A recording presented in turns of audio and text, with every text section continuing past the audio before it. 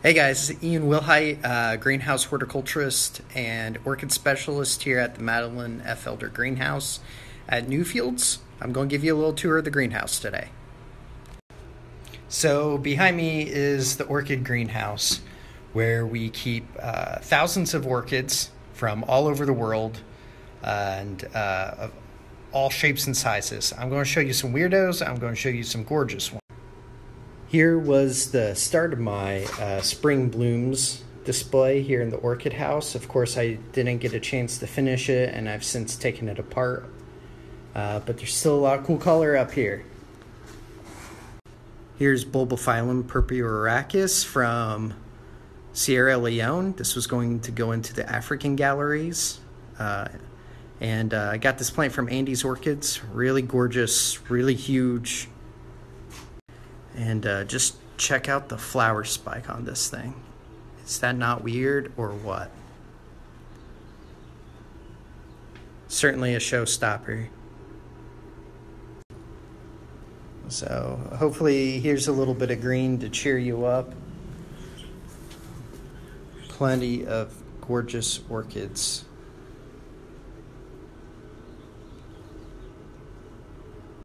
Really interesting maxillaria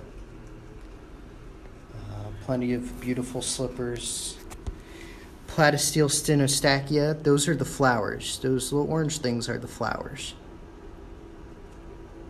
This is a great Paphiopedilum hybrid. It has uh, Paphiopedilum sanderianum in its blood. You can tell by these foot-long sepals.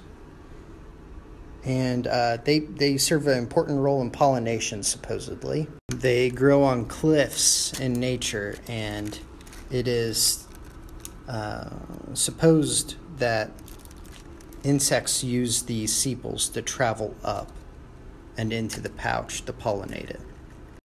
Here's another super cool uh, Paphiopedilum, one of my favorites, Hainaldianum.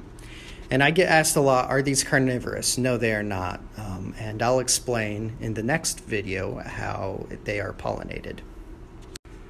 So a bee would fly and land in this pouch, and it would have to climb up the textured back of the pouch.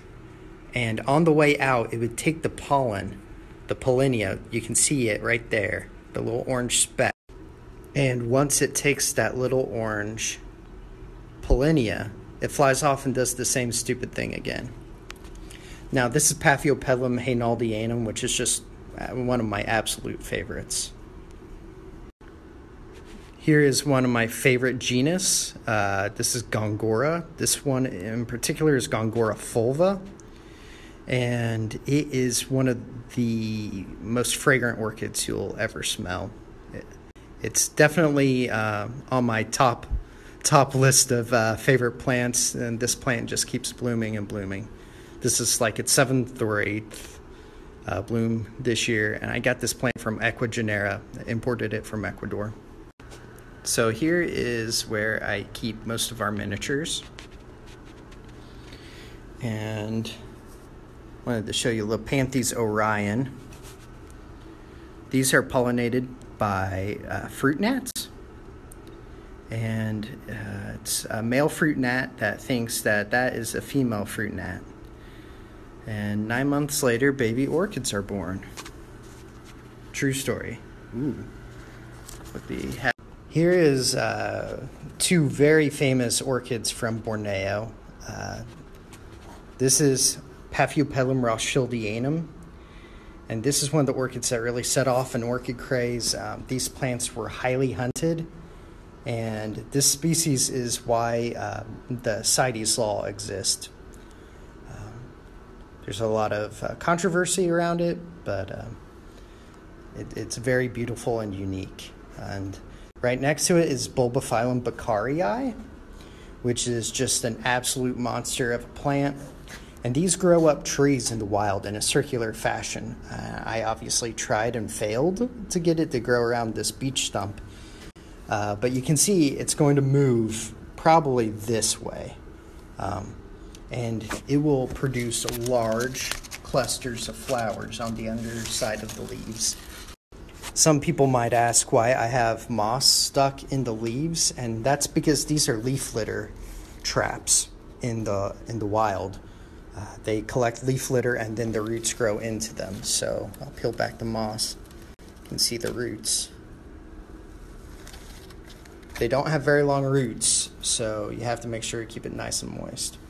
Oh, and another awesome Gongora, Gongora superflua. I'm not all orchid crazy. Um, this is an awesome bromeliad from Bullis Bromeliads. Uh, this is Aechmea del Mar, and uh, I mean, are that those colors are unreal, right? And uh, another beautiful bromeliad from Bullis. This is Aechmea uh, Tunisia, which I'm absolutely in love with. Oh, and Pearcea abunda. This is a cool gesneriad from South America. Just an absolute showstopper. I, I don't even think the camera picks up the, the colors correctly. So saturated. We also have Begonia maculata here. Um, we also have, this is one of my, uh, I, I, say all of these are my favorites. This is Maxillaria uh, buchtenii. Uh, it's super fragrant and it just blooms and blooms and blooms. This is its third time blooming this year. Um, yeah, I, I, people can be a little underwhelmed by maxillarias, but I, I think they're a super underrated genus. And just look at that. So, did you know vanilla is an orchid? Uh, yeah, this is a vanilla imperialis and it is a very large vine. And it will produce short lived yellow uh, flowers. This one has yellow with purple splashes on it. And uh, that once it flowers, you have to pollinate it by hand. And then you harvest the seed pod uh, months later, and uh, that begins the process of getting a vanilla bean. Uh, I will tell you that if you think vanilla is expensive, it is not expensive enough for all the labor that goes into it. And uh, most of the world's vanilla is pr- produced on uh, Madagascar, Bourbon, and Reunion Islands. Just wanted to hit this is our Amorphophallus titanum. Uh, it is getting large. Uh, I have no idea what it's doing right now, uh, besides growing very slowly. It will be huge and that will be something fun to look forward to in a few months. Here's Jumellea densifolia from uh, Madagascar.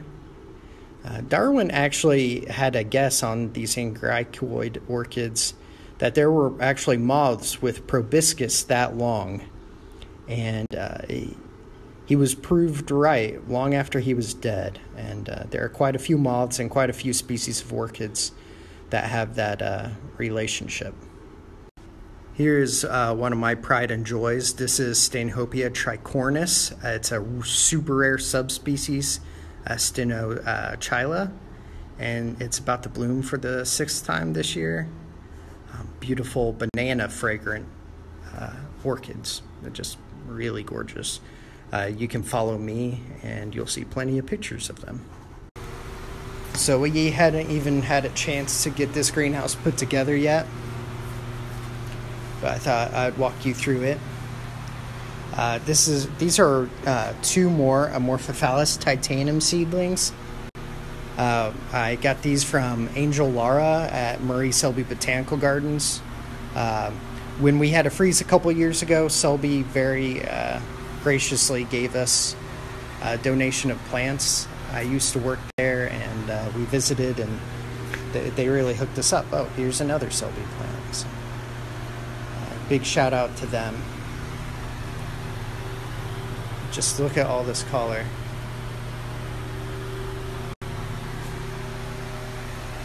This is one of my uh, favorite plants in the greenhouse.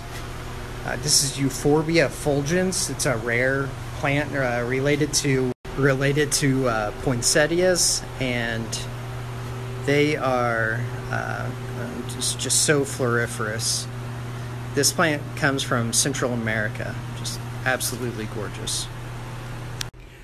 All right, guys, that's it for me. Uh, I took plenty of videos for you, so hopefully you enjoyed them. Uh, and I, I hope that we will be able to see you all in here soon. Don't worry, I always have orchids blooming, so definitely make sure to come by once all this craziness has ended, and uh, stay safe.